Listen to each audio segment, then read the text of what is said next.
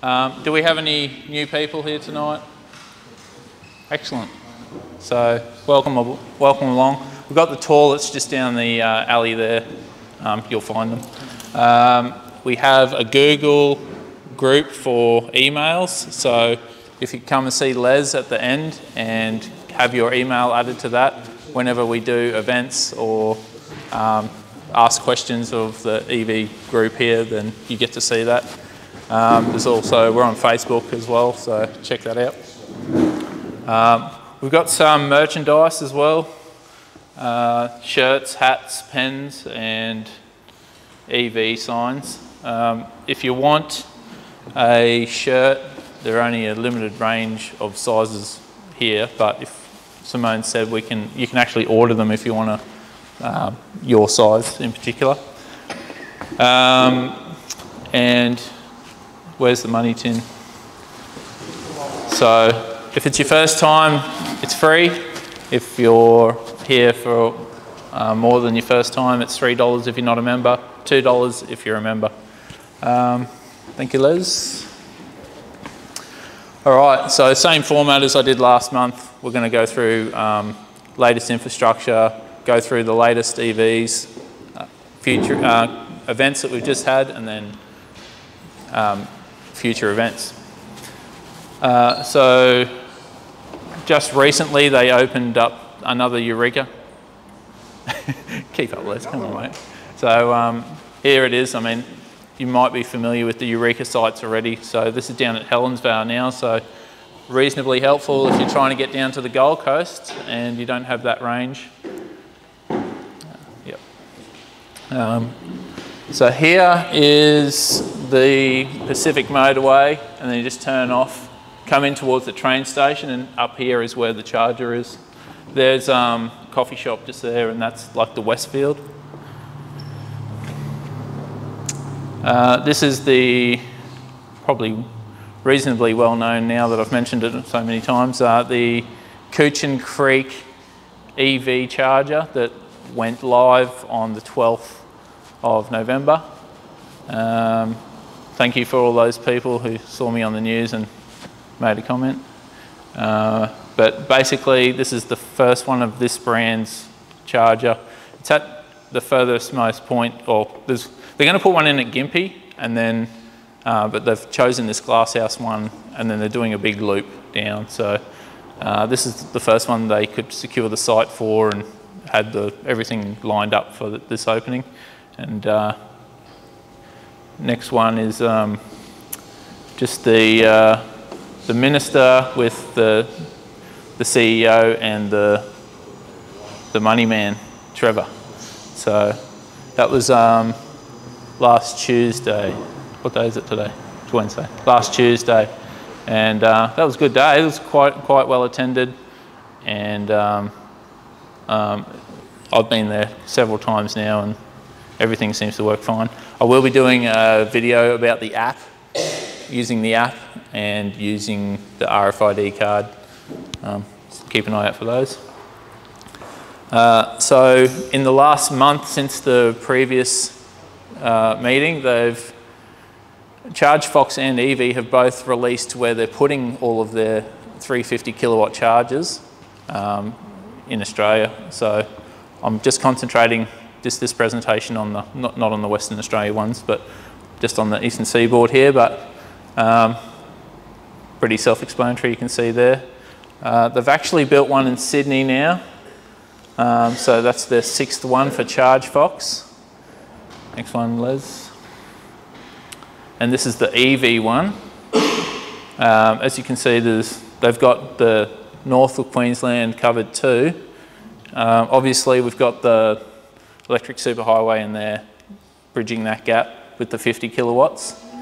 Um, but th this one here is where they built the one at Glasshouse Mountains. They're eventually building one at Gympie, uh, Yatala and Tweed locally and Ipswich and Toowoomba. But just for this presentation, what I thought I'd do is actually um, put them together and just show you like the range between the charges that is going to be available in a year or 18 months time. So these, these, this is the, probably the more important part here.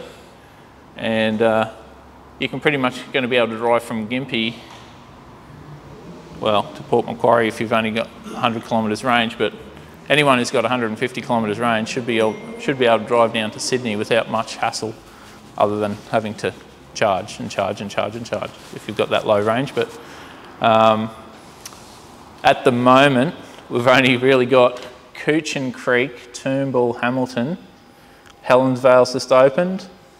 We've got the one at Coolangatta, Byron Bay, Grafton, Nabiac, Wallsend, and Sydney. So there is quite a lot to go in there still, and that uh, bridges a lot of those wider gaps there. So as you can see, um, I tried to make it slightly transparent, but you can see there's like quite a lot of dots on that map when there's not much of a gap. So in a year's time, that'll be actually pretty good if you want to drive to Sydney. And I feel like the driving north will be similar situation after a while as well.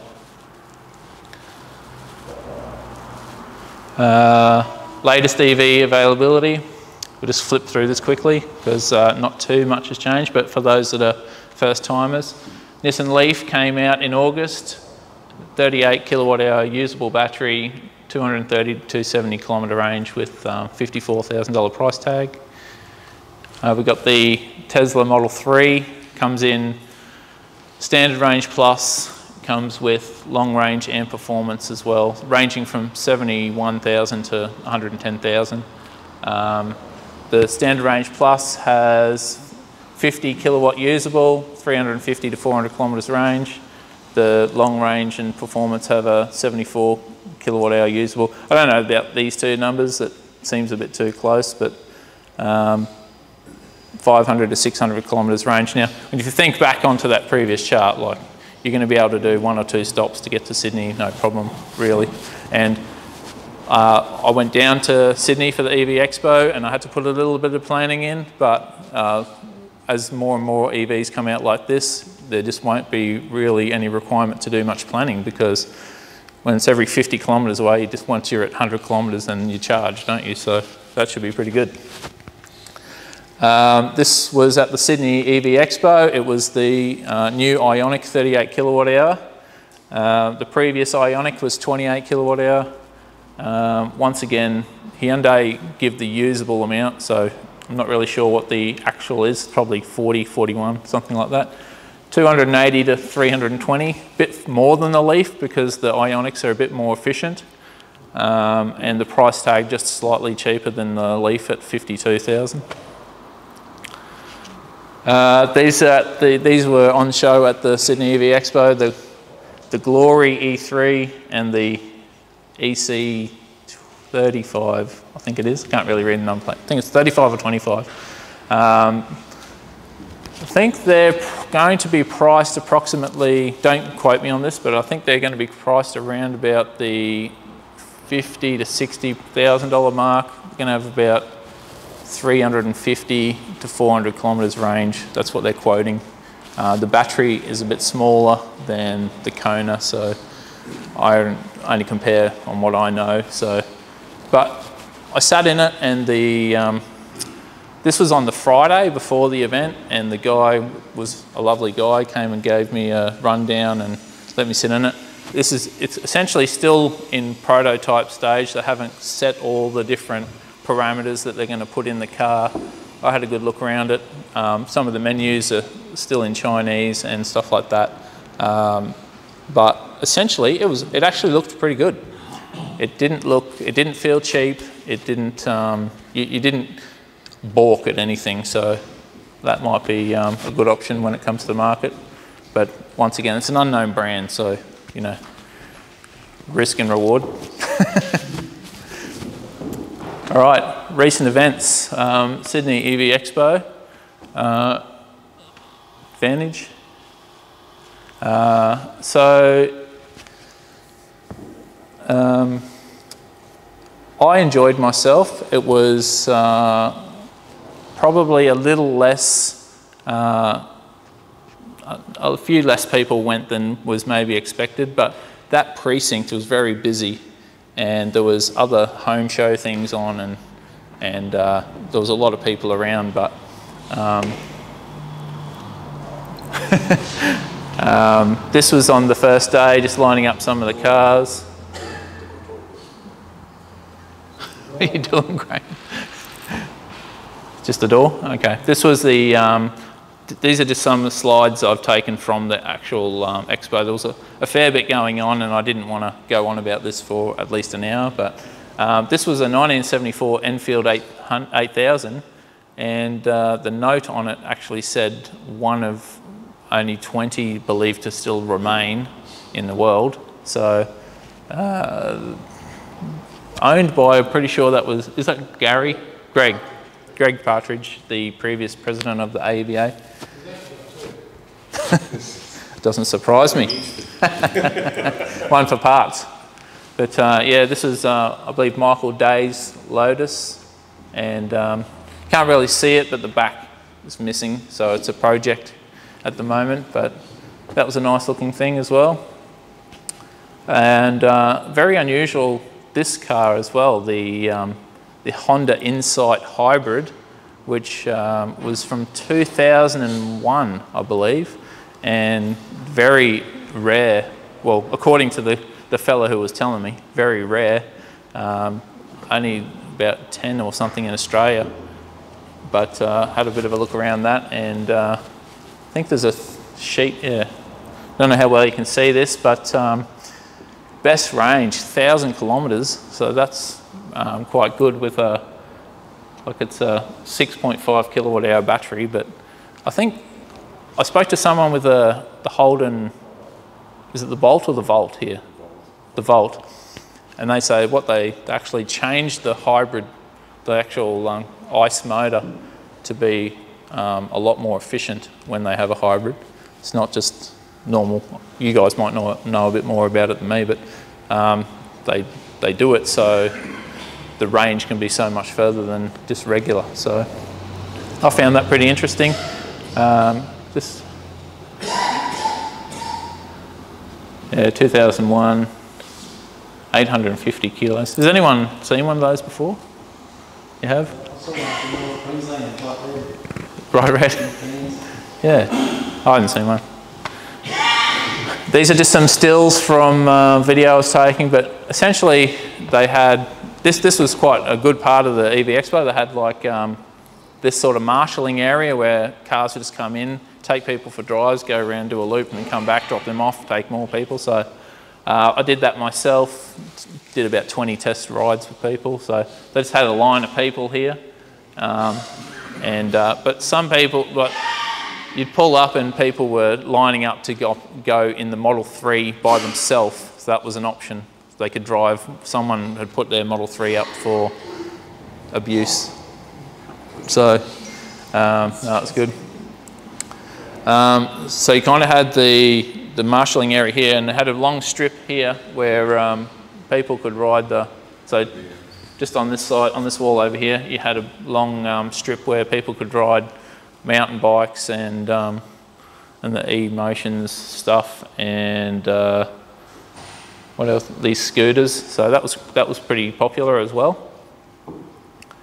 And yeah, there you can see there was quite a lot of range of um, converted EVs, and then sort of in this area it was more the the charging companies and the manufacturers, Hyundai and Nissan and the Glory E3 stuff. So, and the Glenn George uh, Perpetual Trophy that was won by Glenn George. so he drove down from uh, outside Mackay with uh, Trev, who some of you might know, and uh, yeah, he got that. Actually, uh, if anyone's interested, I did the E. I did a, and Graham interviewed him uh, just about some of his time you know, in yesteryear about how we got into EV. So I'll put that on the AEVA uh, YouTube channel if you guys want to check that out. All right, that was the Sydney EV Expo. Did um, Graham or Simone want to say anything about the Sydney stuff?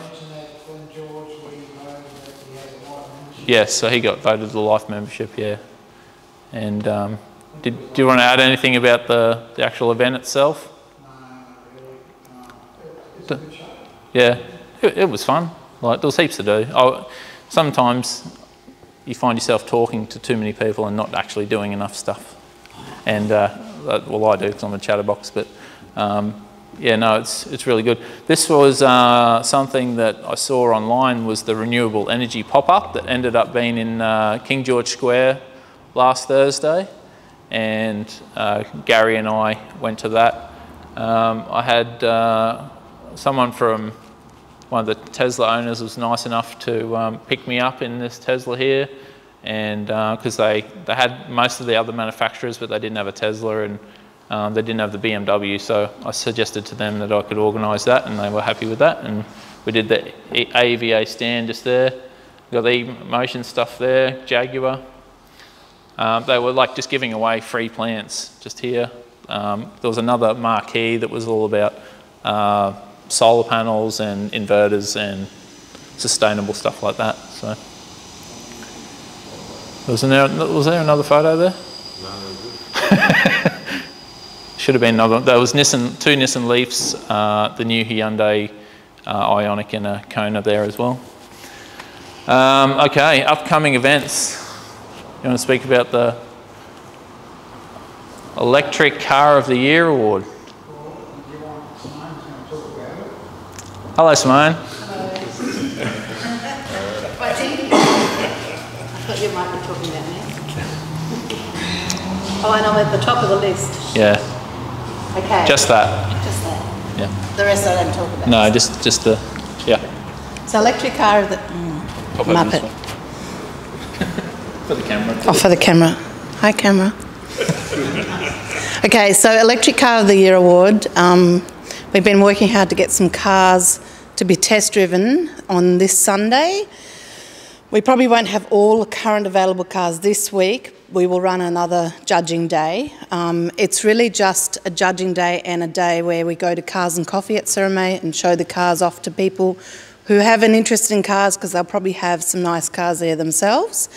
Um, and then each judge will take the car for a drive for a 30 minute stint, come back, fill in a questionnaire form with some points that they have to give for a, a, quite a few sections, and then they hand that in. Now, that won't be collated, collated on the day. Um, however, I do need some people to help me. Um, I probably need a small handful of people, you know, put on a, a nice, sexy vest with the fluoro on and just help make sure that people don't get run over, basically. That's what it comes down to. Maybe hand out cards and whatever on the day. Um, yeah, that's this Sunday. There will be crickets. I can hear crickets. Anyway, you can come and see me after if you don't want to make a fool of yourself. That's fine. Um, I really only need. I probably only need maybe two, two or three people. I imagine. Um, there may be an opportunity for somebody to also do a test drive. Still, I know it's almost Sunday now, but there's been so much to organise in the last two weeks, it's been a bit crazy. So there will be another opportunity probably in the next uh, two or three weeks of doing another one of these days. So it's really more, it's, no, it's not like a big function or a big expo, it's really just getting bums in cars, doing a set circuit for those judges to judge that car for that circuit. And then once we tally it up, we will actually have a presentation night early next year um, and then present the trophy at that time. So there is still time to do test drives. Um, but we are asking dealers or manufacturers to provide the cars rather than members because I felt, or we, we felt that it was important for them to be aware that we're doing something to help them sell cars basically because we're eager to get cars out there. So that's really it. Any questions? It came, it came through um, Rob. Yeah, so Rob um, was the one that actually made that suggestion a number of months ago, um, and he's been working a little bit in the background as well. So there's a couple of us working on it. Um, and so, look, some dealers and manufacturers are like, yep, we'll be there, no problem, and others are more hesitant. And maybe it has to do with the fact that some of the other cars are worth $150,000 rather than just a $60,000 car. I don't know. Um, Hyundai were there straight away, and Nissan are definitely booked in. Um, our friend who is, you know, who came to our drive day with the iPace, Uh, that dealership is, is eager, so they're there. So they're the ones that are definitely there for Sunday. Still working on Renault and Audi. Yes. So what we're doing is we're starting off at Tritium. We're driving over to Sirromet Winery um, as a, for a, the cars and coffee. So we'll have a coffee, have a bit of breakfast, talk about the cars, look them over, you know, all that sort of stuff. Brief the drivers, of course, um, further than what they've been briefed already, and then just go from there and do a circuit. And then in the afternoon, just drive back to Tritium and park the cars again. So, yeah. It's not a hard day. Um, you know, I imagine we'd probably meet whoever is volunteering at Sirromet. Um, I'd be happy to even shout a coffee, have a little bit of breakfast. If that gets you there, no problem. So, anyway, that's it. Thank you. No, thanks.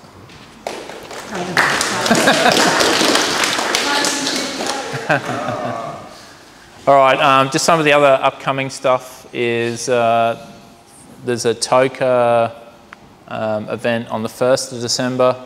They're driving from the Gap out through Northbrook Parkway down the side of Somerset and finishing down in Fernvale. Uh, for those of you that aren't members of the TOCA group, that's like $10 to join. So um, might, might be, they're doing some stuff along the day, so it's quite a day out.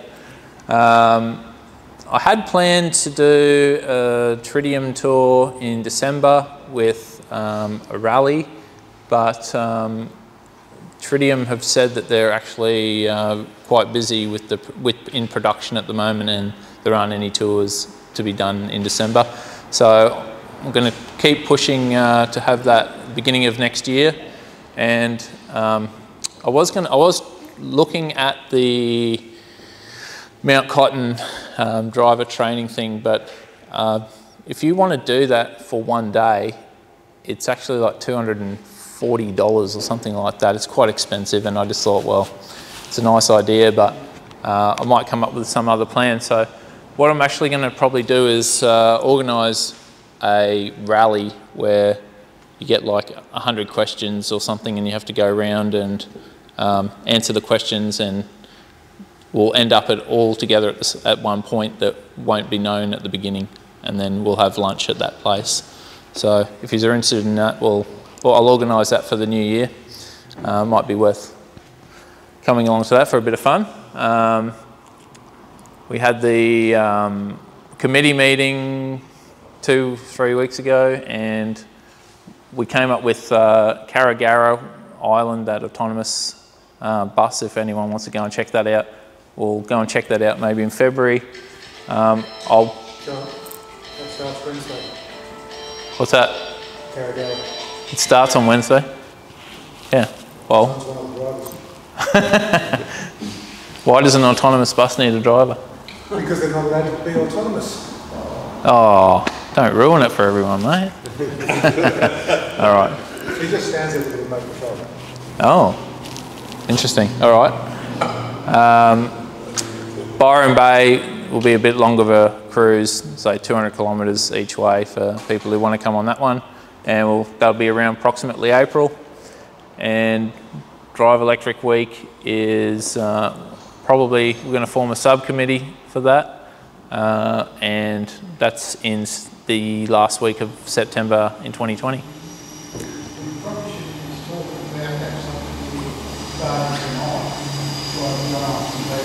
Do you want to talk about it?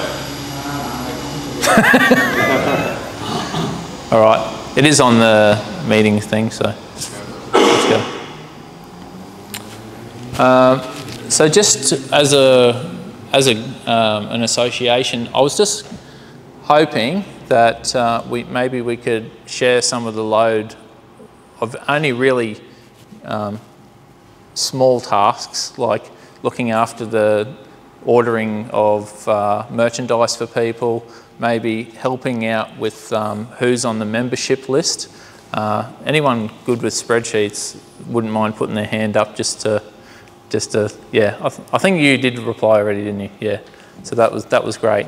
But just um, when I was having the a chat in the committee meeting, it, it seems that like there are 30 different things that need to be done, and some of those ones are actually really small that would just take the pressure off the people who are doing all the main work, um, and then they can just be, you know, delegated to other people just to help out. So um, I might just ask for a little bit of help. If you're interested, come and see us after, and um, it won't be anything difficult. It's just to one hour of someone's time over a month is helpful to someone who's already trying to do 20 hours worth of work.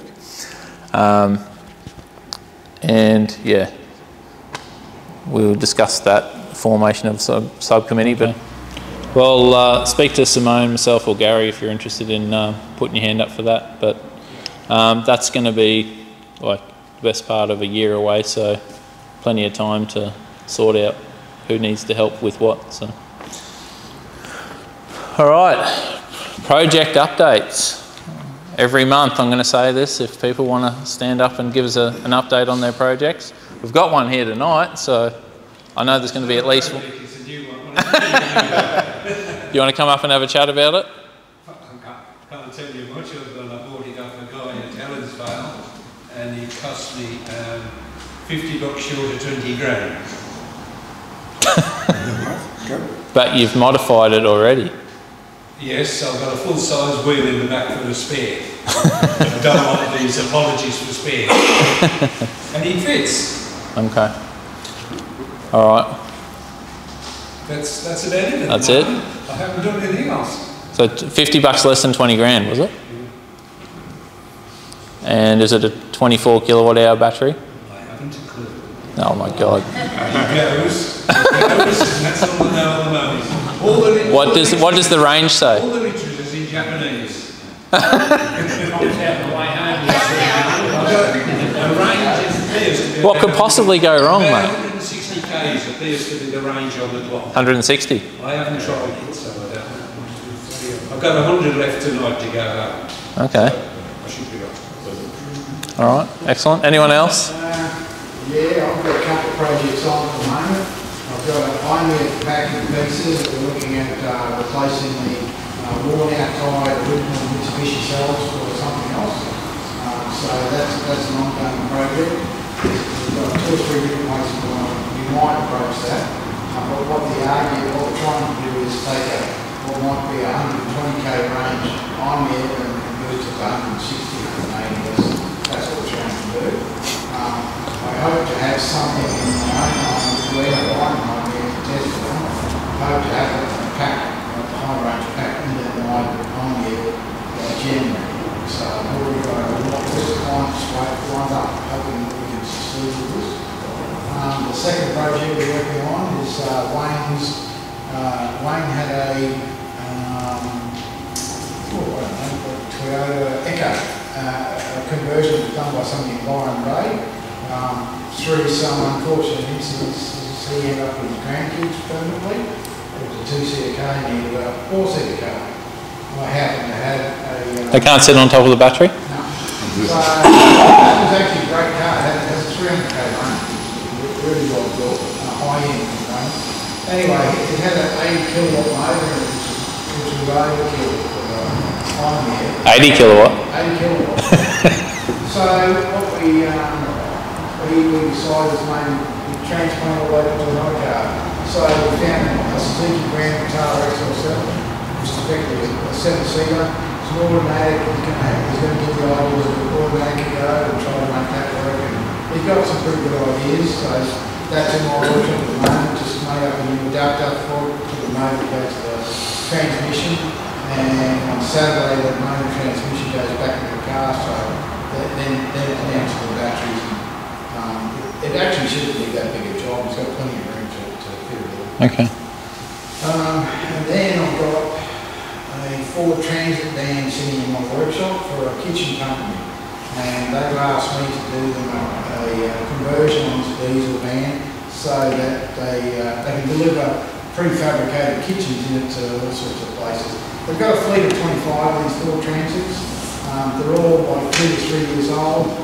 Um, what he wants us to do is if this one's successful, we can use this as a delivery van, he wants the other 24 done. So that's, that hopefully that will come drop and get rid of the stinking dirty old Ford diesels. Um, and what else we got? That's it, we're busy. My, hopefully we get our Omni on the road. It's all done, but in the bumper bar and, and, um, and then we do the upgrade on the back. Oh. Hugh Thompson's old back. Perhaps some photos for some of the next meetings. Yeah. Yeah.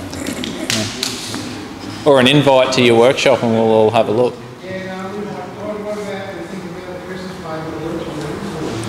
Yeah, well, is, is everyone interested in that? Because I heard uh, the attendance for this, uh, the December one, because it's sort of middle to late December, ends up being a bit down.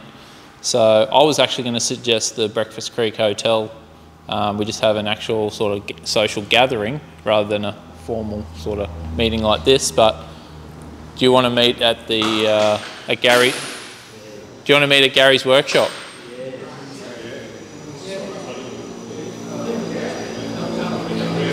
Uh, Graham's Graham's workshop.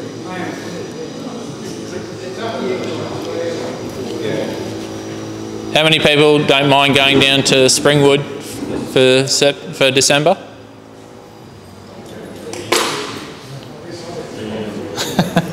Graham, you didn't even have a hand up. All right. Just before we forget, he won the Ovation Award for Oh yeah, very well done. Graham won the MTAQ Award for Innovation. Uh, I don't know that much about it. Maybe Graham can tell you all about it, but yeah. I had this speech all written out, and I said. You didn't use it very often, from what I I got to about the second line, I went, no, I just went to pieces. So yes, very well done, very well done on that one. All right, um, moving on to our guest speaker Wolfgang, who is with E-Motion Concepts, and welcome Wolfgang. I'll just run you through sort of what um, E-Motion Concepts is about, where we come from, what we want to do, and where we think our electric vehicles will make a difference.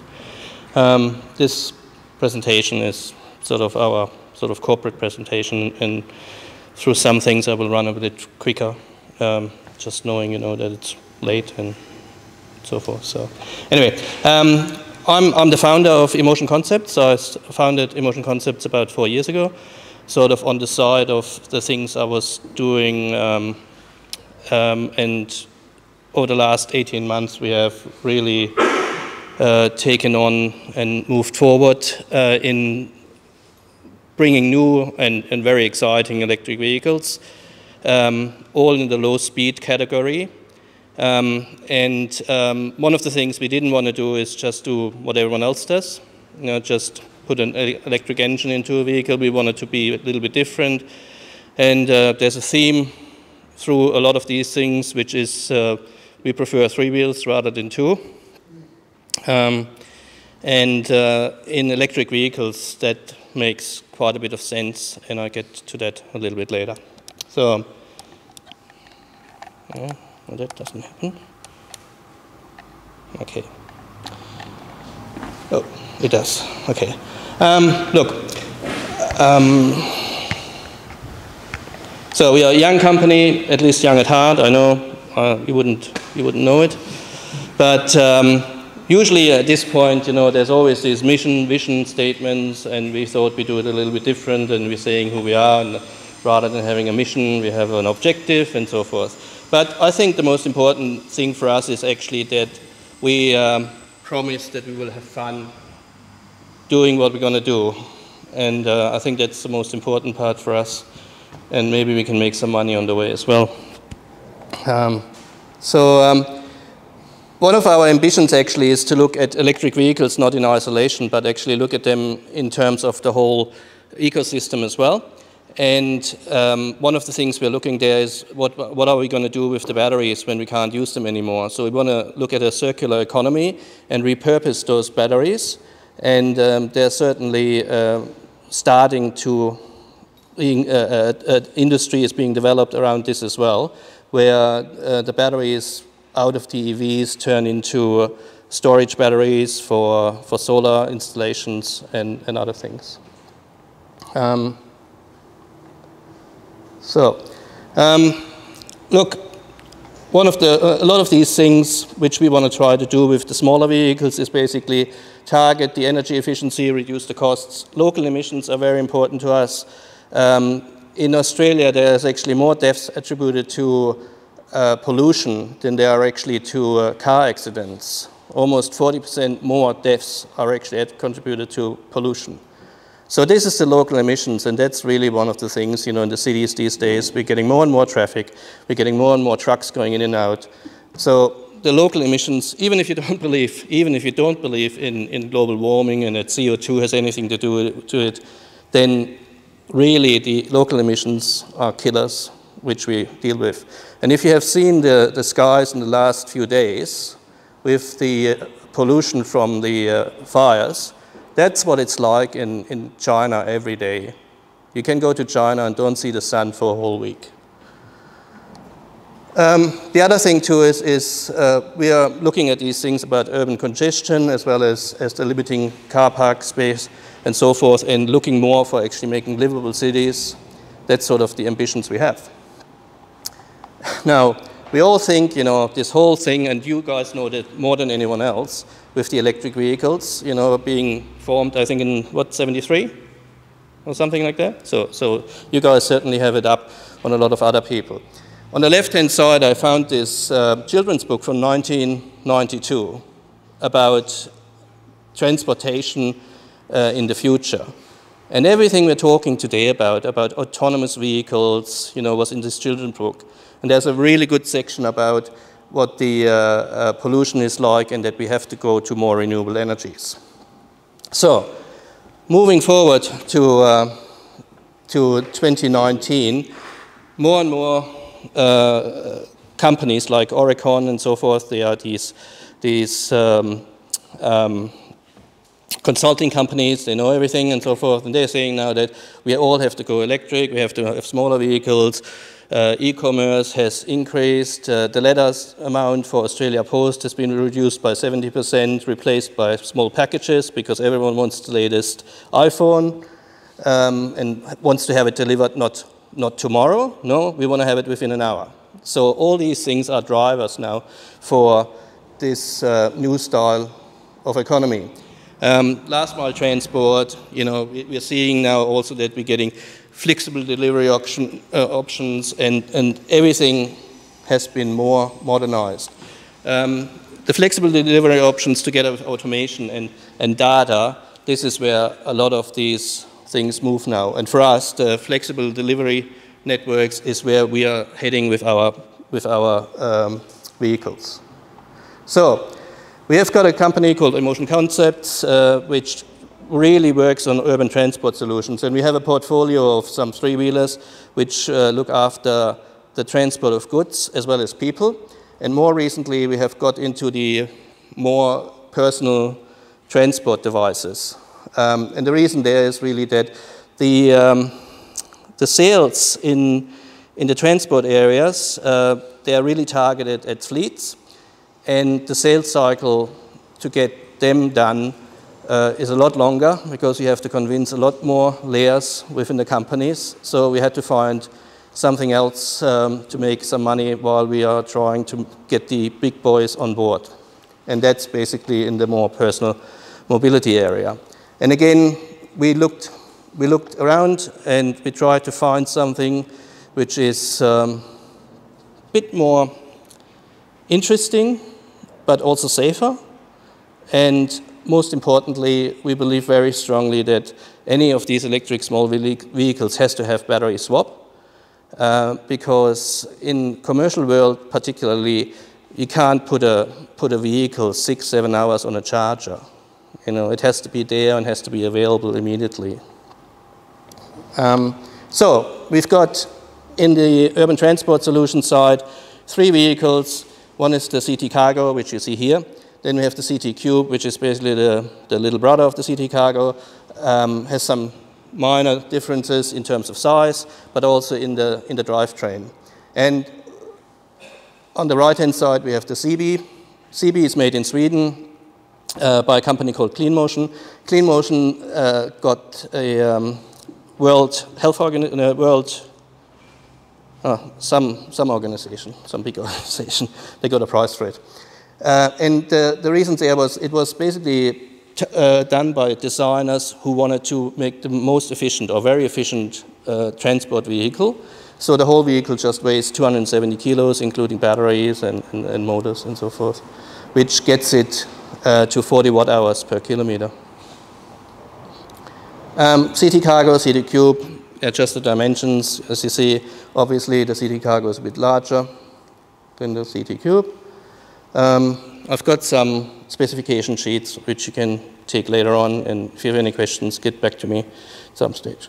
Um, okay, so where, where are the target areas for the CT cargo? It's in mail and parcel deliveries, and you probably know that Australia Post recently ordered a thousand three-wheel uh, electric vehicles from a Swiss company called Kyburz. Um, and they, they actually they are appearing in some suburbs. Yeah?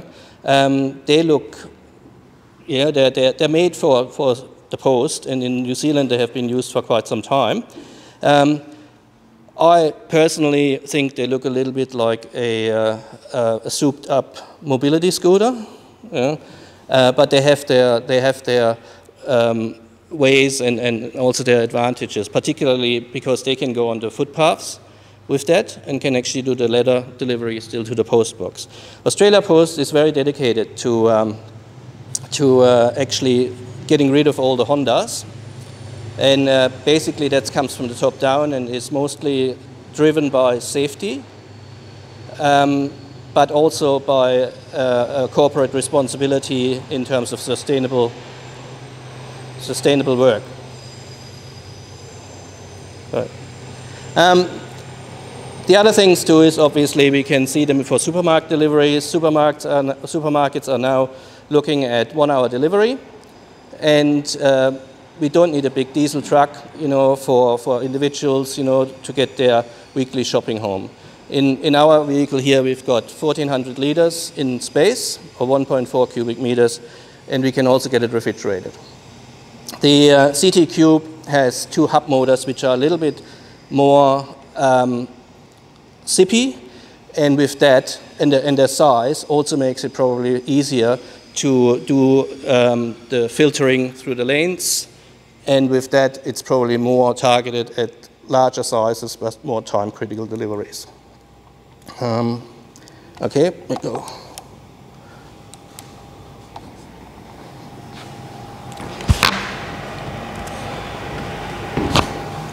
There's just a little video showing you a little bit of the the features. It's only going to be a minute or so. But yeah, we have the front um, is articulated, and with the articulation, um, the vehicle drives more like a motorbike. And the back two wheels will actually stay on the ground. It's one of the things which is always said about the three-wheelers in terms of their stability uh, and that, it, that they will tip over. Uh, a nice feature, and I'm not sure if you've heard it, but we, we got three sounds of motorbikes which we can choose um, in the vehicles because in some European um, countries it's required that they actually have a noise. Um, and we have got um, the noises from a two-stroke up to a 500 cc. So we, we were thinking about having maybe a, an exhaust pipe and have some uh, soap bubbles coming out, you know, just sort of to attract a little bit more attention.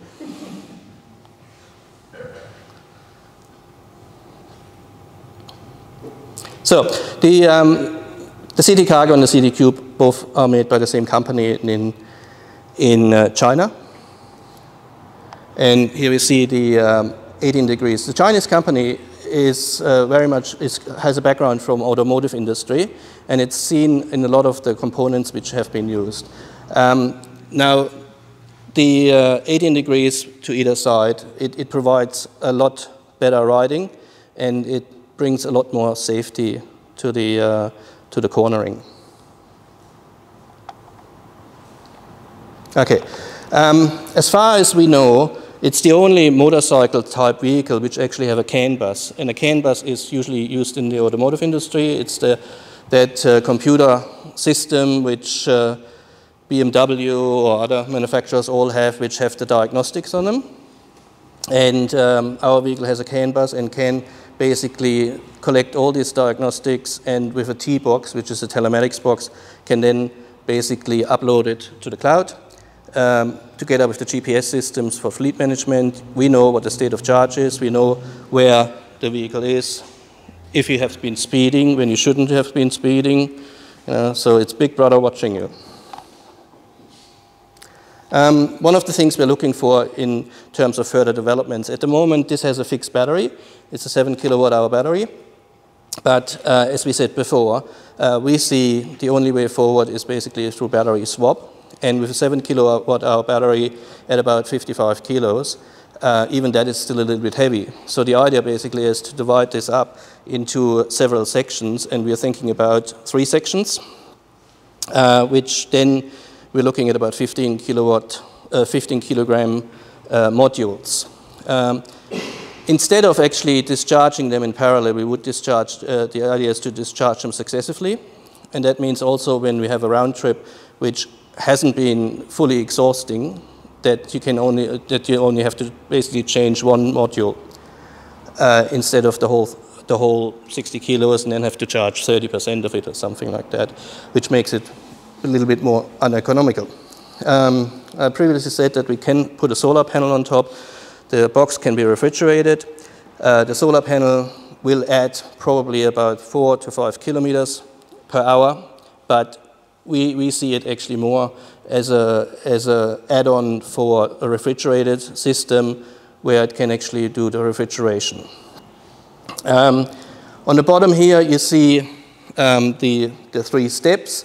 One of the things at the moment is actually that uh, couriers, um, 10 years ago, courier companies, they didn't actually see e-commerce coming. And so they actually built a lot of their distribution centers at the city fringes. And uh, now, in areas like Sydney, for instance, it takes the driver one hour to get to the depot, one hour to get to where they deliver, and they do this twice a day, so four to five hours are basically stuck in traffic. Um, the problem now is that inner city distribution systems have been closed down, so there's, and, and, they have become very expensive. So the idea basically is to get the boxes pre-packaged and then delivered into the inner city, and then have the vehicles like the city cargoes, you know, and just exchange the boxes. Already pre-packaged according to the, to the route which is going to be taken. The driver would only go up scan it with a QR code or with an RFID tag, and it would load it to the GPS system, and off they go. Um, okay, the CB, the CB is our urban transport solution for the inner city taxi style service. You know, it's an interesting fact that since we have got this ride sharing, which uh, Uber or uh, um, Ola or, or the, all the other uh, variations. It is quite interesting to note actually that the traffic in cities actually has increased to 60, 70% in some of the cities. And in the first instance, that sounds sort of a little bit strange, but the other day I was listening to the radio and they were having an ad and it said, How long does it take you for an Uber to come to pick you up in the city at the moment? It's about three and a half minutes. Okay, three and a half minutes is not that long. So what are, that just means, you know, that there's many, many Uber drivers, and if they don't have a fare, what are they doing? You know, they're taking your car park until the car park inspector comes, drive off. Or they're ghosting and driving around until they get their fare. Uh, so um, again, with, with right intentions, you know, but calling it a car share or a ride share, um, it's, it's not really what Uber is. Uber is a, a taxi service. Yeah. Anyway, so the, and, and the, the short trips, the, these short trips of one, two kilometers, um, they don't want to take you because there's not enough money for them, right? So that's where we come in with these little, little pod taxi styles. And uh, a company in Sweden called Psit has uh, very, very uh, successfully implemented in Stockholm as well as in Göteborg. And the way it's done basically that they have a radius of about five kilometers from the city center, and that within that radius, every trip is, is equivalent to about 10 bucks um, for, for two people. Um, short facts, you know, okay, so look, uh, again, we're looking for a battery swap. It has already been implemented at the moment. Um, we have got a four, four and a half, 4.8 kilowatt hour battery in this, which can be recharged in two and a half hours. But uh, it will be a battery swap, and the battery swap in these vehicles is actually one fixed battery and two exchangeable batteries. Uh, speed is maximum 50 kilometers hour. All our vehicles are actually at the moment classified as three-wheel mopeds, which can be driven in Queensland, Western Australia, South Australia, and the Northern Territory on a car license. In uh, New South Wales and Victoria, you have to have a motorbike license. Um, however, in New South Wales, in Victoria, this vehicle actually is classified as a three-wheel car, and you can car drive it with a car license, which, um, which is good in one sense, but the bad part is with 50 kilometers an hour, you don't want to take it on the freeway, which you could as a three-wheel car. So there's some pros and some cons. Um, that whole week, um, so what we're trying to target, and we, I said this before, is basically sort of energy efficiency, local emissions, but also congestion and limited car parking available, uh, uh, car park spaces. Um, so, look.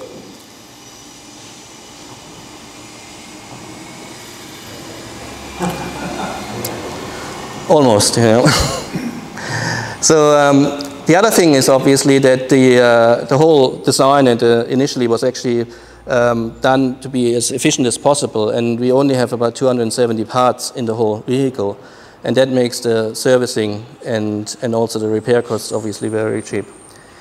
Um, whereas a normal car has about 10 to 12,000. Um, operating cost, EV, you know, we don't have to really go into this. I guess you guys all know about that. Um, one of the things is I've done about 5,000 kilometers in one of the CBs around Brisbane. And one of the major things is that everyone will turn their head for it. You know, everyone gives it a thumbs up. Everyone says, oh, that's the way to go and everything. So the advertising opportunity is, is quite large. And as a business model, we could even go to a business model like maybe a Facebook model, you know, where the money doesn't actually come necessarily from the operating, but from the advertising. Uh, and there are certainly opportunities also in business model development. So this is our latest venture, and it's basically the electric mobility scooters, where um, the word scooters has uh, a few meanings, you know, and uh, I found that many people think when they think about an electric scooter, first about a, a, a disabled scooter. Uh, also, the wording of a personal mobility device, uh, which the, is the official wording, always is seen, you know, or oh, this is something for people who are, can't walk and so forth, but um, that's the way it was described in the, in the legal requirements. So we have got the iLark on top, which we got the vehicle here. We also will have um, two other vehicles, again with the similar um, um, suspension, front suspension, two wheels in front. We're going to have what's called the iTango and the iTank, personal transport vehicle devices. Again, all of them are classified as three-wheel mop uh, as, as, mopeds because uh, the two wheels in front are less than 460 millimeters from center to center, and therefore we can classify it as a single wheel. well, it's uh, it, you know, yeah, I mean, you know, when the rules when the rules are there, you know, you have to use them because they will use them against you. um, so just to give you sort of an idea, yeah. So this is the iTango, and uh, it just shows you a little bit sort of about similar to the iLark, you know, the, the capabilities of the front. There's some driving here which is not recommended. No, it's not that. I think, yeah, sort of, look, you can do it, but same here, but yeah. okay, out of this, out of this, we're, we're, we're now looking at another business model as well, which is um, scooter as a service. And with that, we're looking at um, making them available or trying to get them into apartment buildings, you know, as, as local uh, local mobility devices, as well as maybe student accommodations uh, in resorts, um, as well as, as making it part of, of a corporate, of a corporate uh, mobility solution. Um, this was just one of the things, you know, you see all the green spots, they are actually free parking spots for, for motorbikes. Uh, the orange spots, they have to be paid, but most of them have a, a free period of, of at least one to two hours. Thank you very much.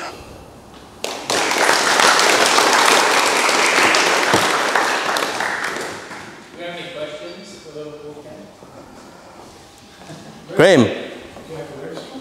Yes, yes, the registration is that of a three-wheel moped or a moped, and the registration per year is about $380. 300? 380, yeah. Hmm? Yeah.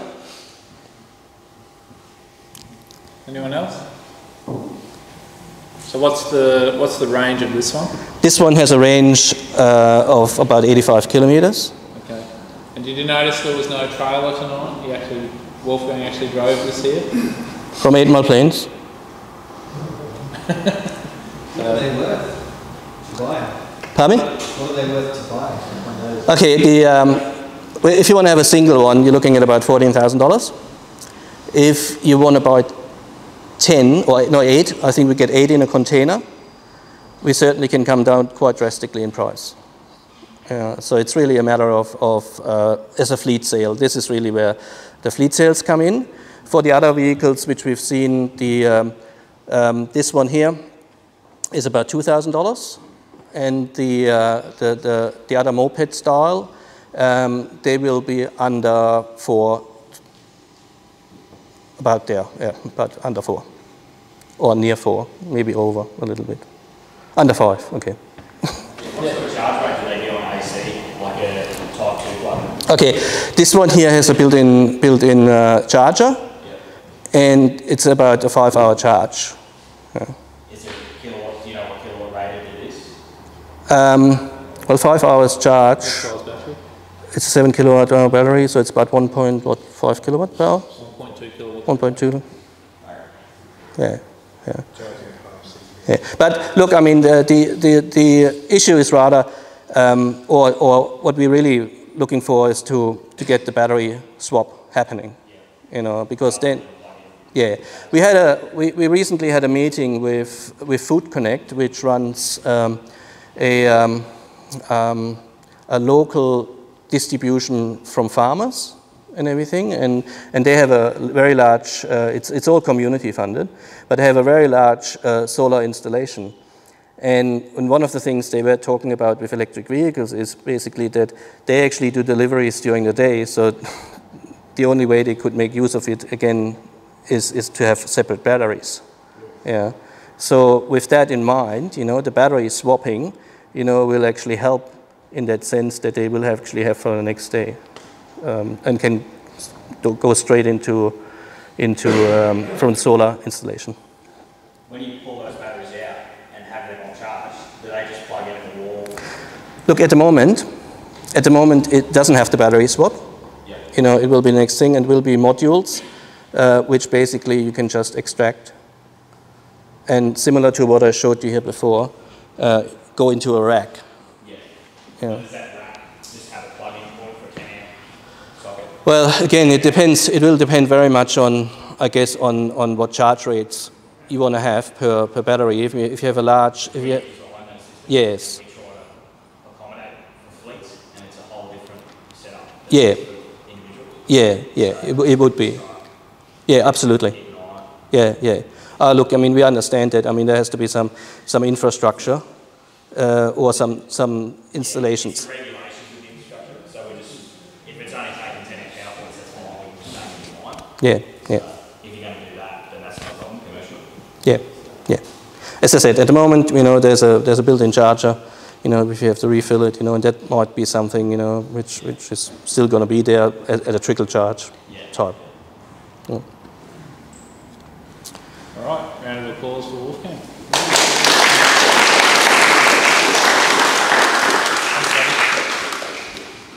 I expect to see some of you on that as well tonight, just around here, do some small laps. Everyone seems to like jumping on a scooter at the end of the night. Like, why wait till the end of the night? Just do it straight after this. All right, thank you. Uh, tea and coffee and chat time.